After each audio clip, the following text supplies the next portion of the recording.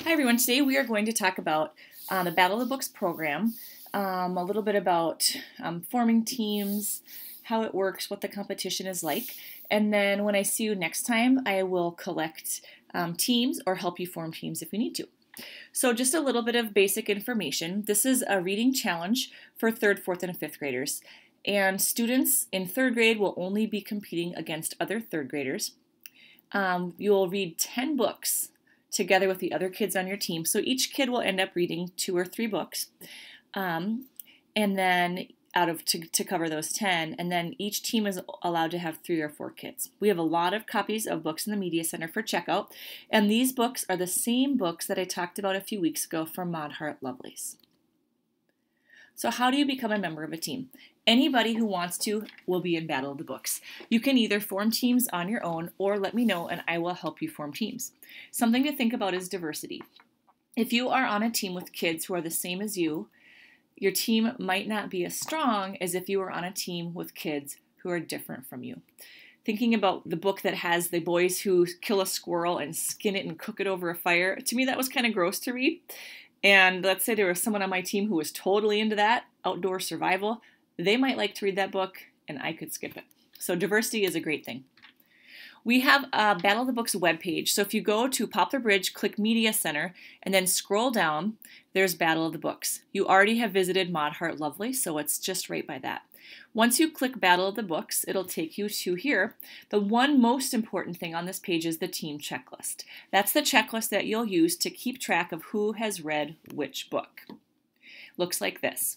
So one person on your team would make a would uh, make a checklist, and then they'll click the blue share button in Google to share it with the other people. I recommend also that you star that doc.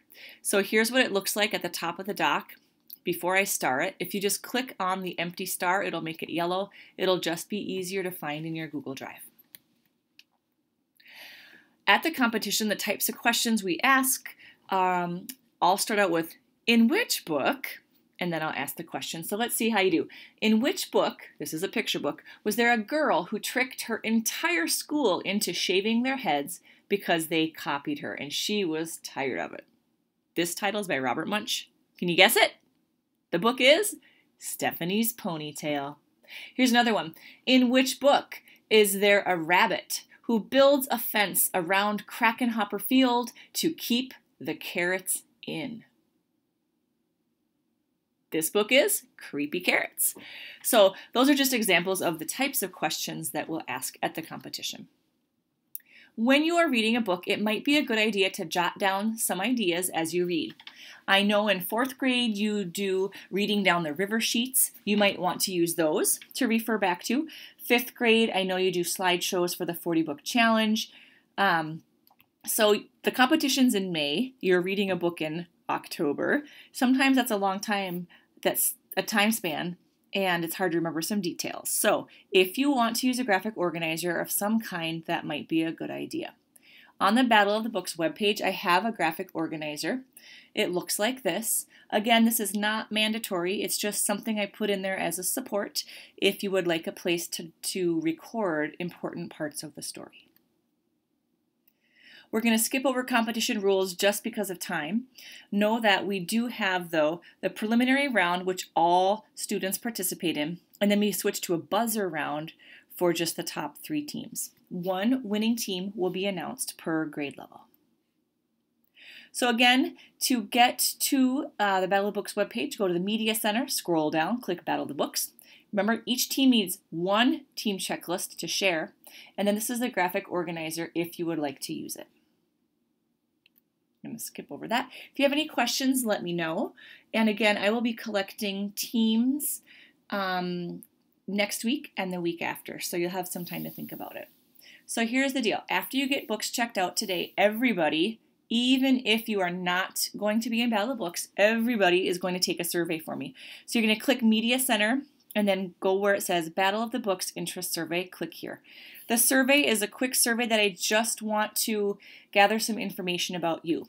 At the top, it's going to ask for your email address. When you do that, it's your username for Google. So it's going to be part of your last name, your first initial, and your graduation year. at isd271.org. And the questions are just asking if you're interested in Battle of the Books, if you aren't interested, why, um, do you need help forming a team? Do you already have a team figured out? So there's just a few questions that I will use to try to make Battle of the Books a better program. So after book checkout, everybody needs to take the survey. And then you have a choice. If you want to quietly talk to people in your class about organizing a team, you could do that. You could do quiet reading time at the couches, or if you want to watch some of the Maud Hart Lovelace nominees, those book trailers I had in YouTube for you, you could do that too. So thanks, and I'll see you soon.